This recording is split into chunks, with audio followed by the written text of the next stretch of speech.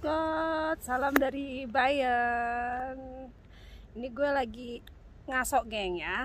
Jadi itu udah Austria ya geng ya. Ya jaraknya cuman 5 menitan lah dari dari dari uh, tempat gue ke sana gitu. Nah, ini kameranya agak-agak buram geng. Ya ini gue sendirian geng di taman ya. Itu di belakang gue gereja. Ini biasanya ini kalau kayak festival-festival di sini, geng. Dan nggak jauh dari sini itu sekolahannya si Entong, geng ya. Jadi hari ini gue jalan kaki, geng. Ini kamera gue sebentar dulu, geng. Nah, kameranya tadi butek ya. ini gue jalan kaki ya. Jadi mobil gue tadi uh, gue bawa ke bengkel ya kan itu untuk pemeriksaan ya gengnya kan ini kan jadwalnya diperiksa gitu kan ya kan tadi ngecek cuman butuh ini doang kan geng SNK gitu kan. Nanti kan dicek ke segala macam ya. Jadi jalan kaki deh geng. Nanti gue pulang ini uh, jalan kaki geng. Nah ini geng. Jadi gini nah. Nah jadi di bawah di bawah itu kayak ada toko ya. Ada supermarket uh, apalagi bank-bank gitu di bawah tuh ada restoran-restoran juga ada di bawah ya gengnya. Dan ada juga kolam renang di bawah situ. Ya kan? Itu nggak tahu ini berapa berapa derajat ya. Kayaknya sekitar antara 3 sampai 5 derajat geng. Gue sebenarnya dingin banget geng. Gue udah persiapin ini sih apa namanya sarung tangan. Dan tadi juga gue sempet belanja ya. Nih geng belanja belanja lah ya sambil nunggu nunggu gitu kan. Dan juga ini jam berapa nih sekarang? Ya. Ya sekitar 10 menit lagi geng. Si entong balik ya, ya jadi gitu deh geng. Sepi banget nggak ada orang. Tadi gue mau kere mau nongkrong di cafe cuman kepikir tanggung ya. Cuman beberapa menit doang. Terus gue uh, jemput entong gitu kan. Jadi ya udah gue nongkrong di sini aja gitu. Kayaknya udah mulai-mulai ini nih anak-anak sekolah. Ya udah gue ini dulu geng ya. Uh, jemput entong uh, otw ke sekolahannya. Dingin banget geng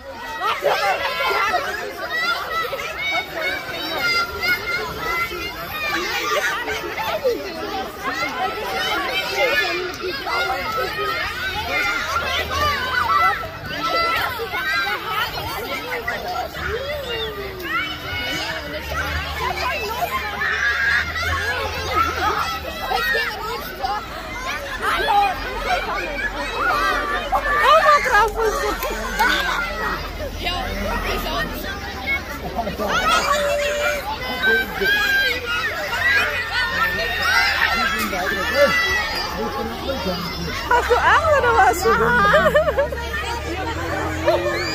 Kinder. Das kommt raus da. Das ist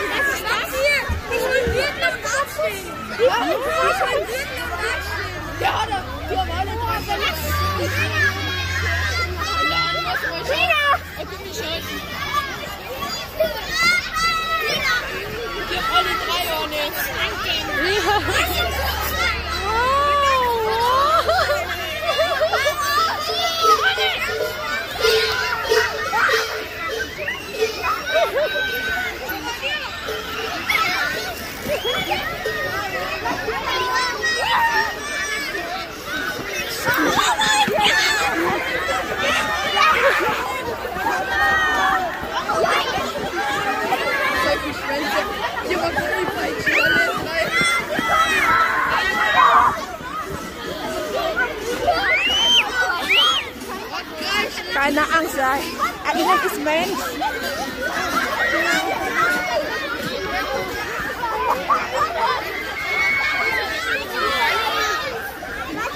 Thank you.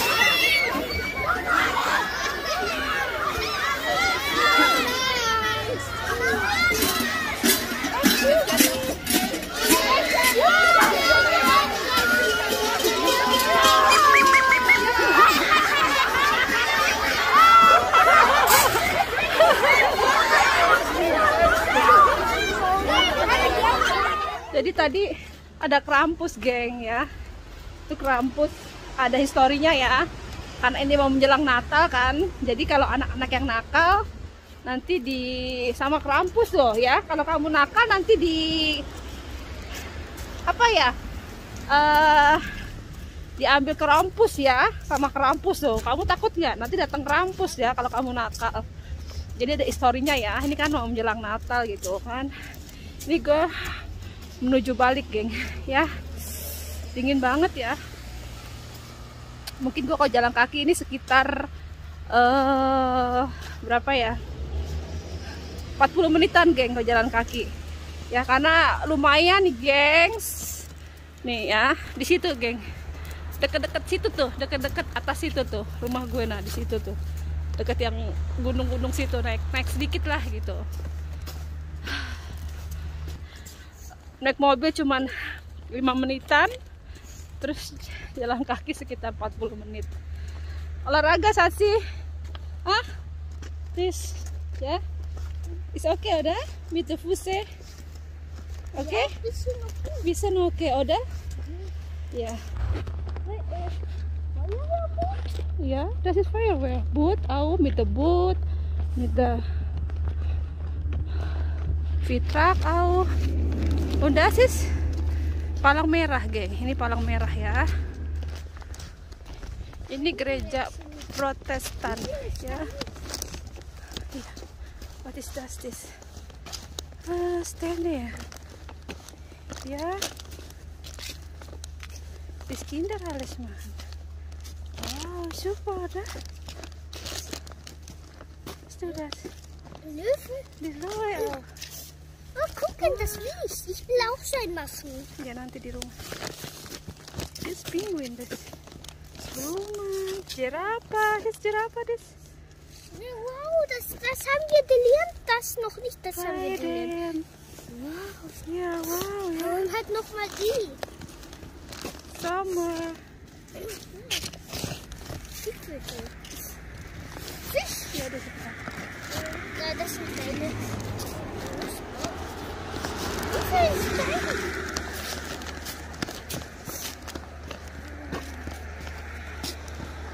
Wie viel klein? Und das haben die gekauft. Na, das ist selber machen. Du kannst auch machen. Kann kaufen, das müssen wir kaufen und dann müssen wir es selber machen. Aha. Du musst echt Weihnachten, Mann. Das ist nicht echt. nur Decoration. Decoration, genau. Das ist Ochten, Mann.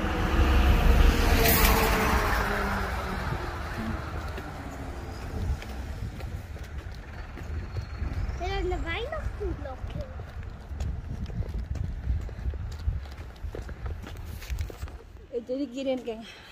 Nasib tinggal di kampung gini. Udah gitu juga di sini nggak ada inian kan, maksudnya nggak ada beca, nggak ada ojek, nggak ada mikrolet gitu kan. Jadi masing-masing harus punya mobil, geng.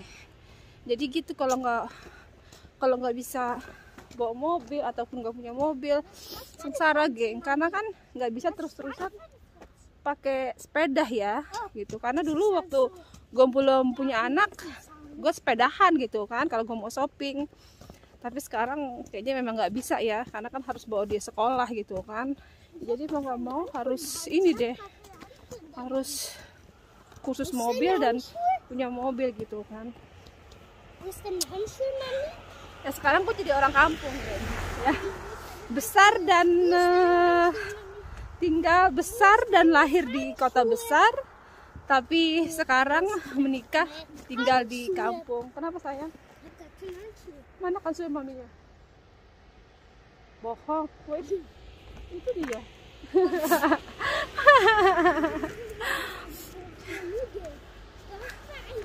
Dari orok sampai besar gue di Jakarta ya. Sekarang menetap di kampung geng itu banyak banget perbedaan ya geng ya. Banyak banget perbedaan.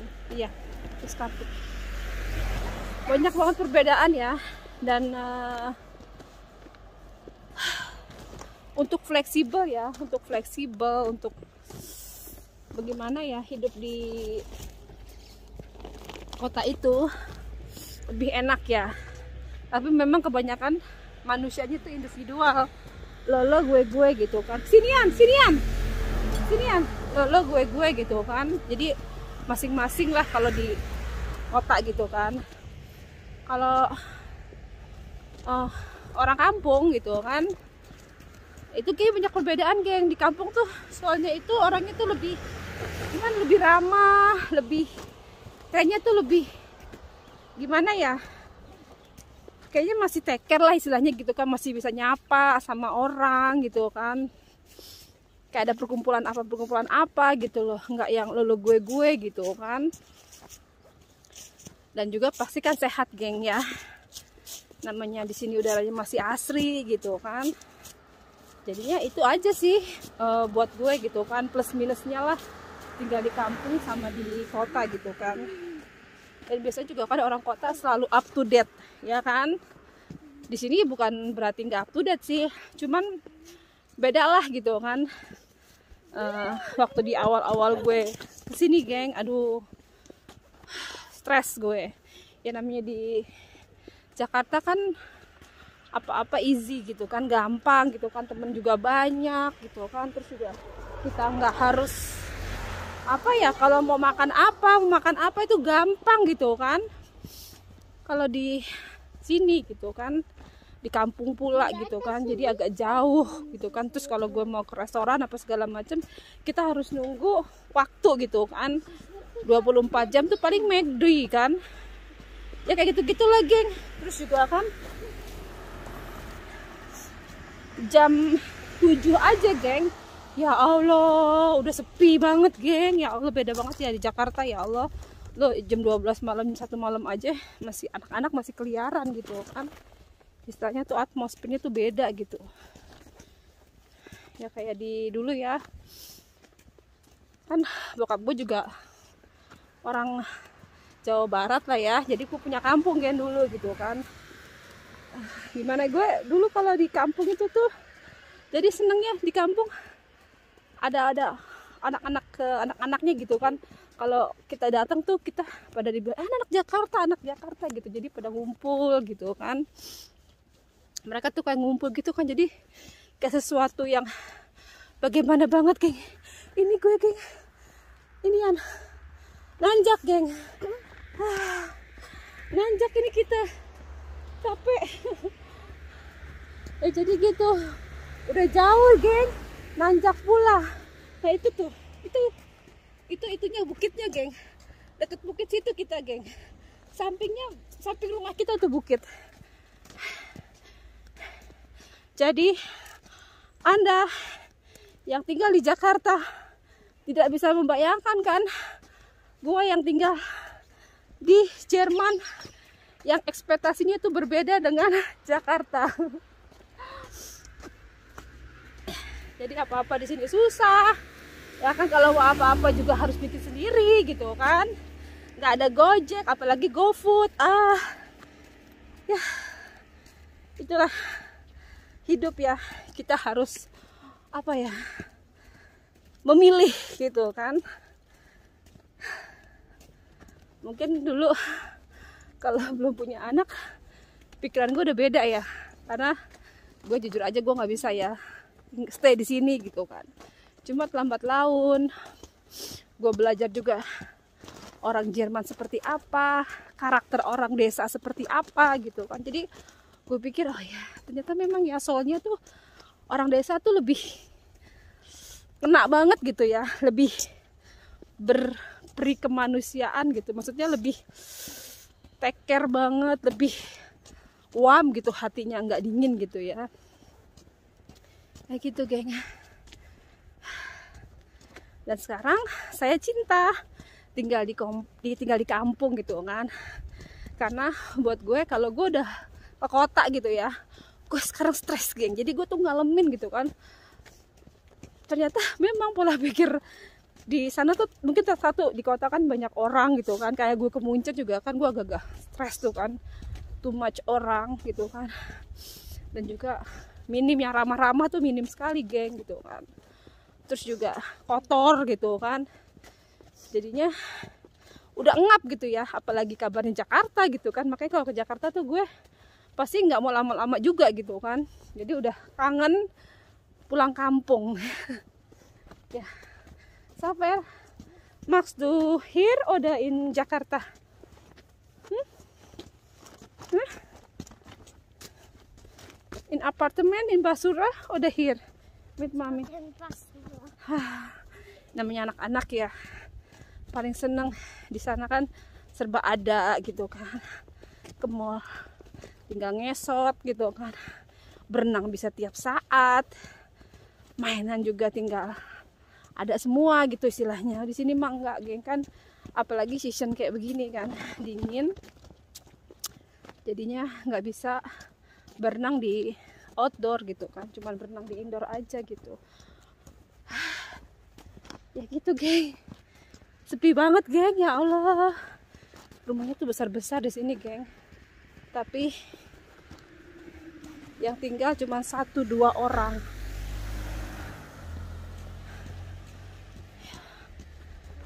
Di sini tuh bukan menganut orang yang banyak rezeki banyak anak geng tidak. Orang sini tuh kenapa sayang?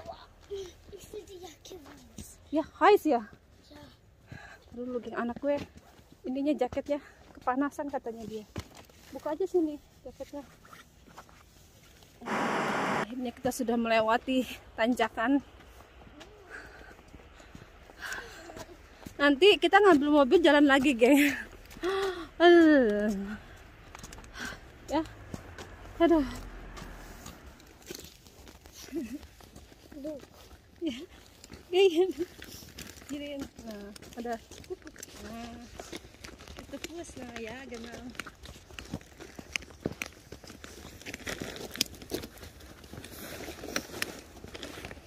What is under the house? Uh, erst ist in diese Richtung.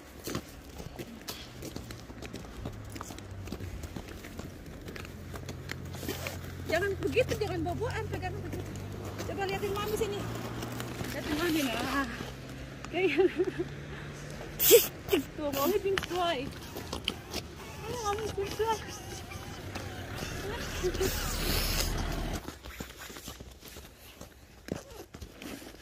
Hier sind so der Weg. Ja, genau. Du kannst genau anschauen. Ja. Von hinten bis vorn. Hier sind zwei Videokameras. Warte mal.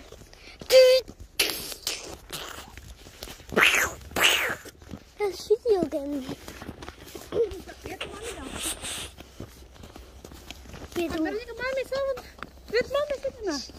Machen wir machen wir aus. Mami auf. Spielen so. Gehst du? Ada? Ja. Ya udah geng, ya udah geng, ya, gue dikit lagi sampai rumah geng. Ya baterainya juga dikit lagi, nah itu baterainya mau mati ya, dikit lagi baterainya ya, udah. Ein bisschen noch. Bisschen Batterie. Dan oke, see you next time di video gue berikutnya ya, bye bye.